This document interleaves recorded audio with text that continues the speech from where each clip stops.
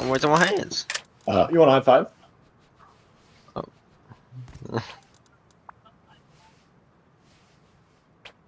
if I look down when you do it.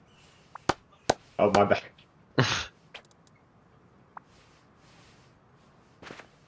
That was epic, dude. Then we got this kid. Dude, this guy doesn't have eyes.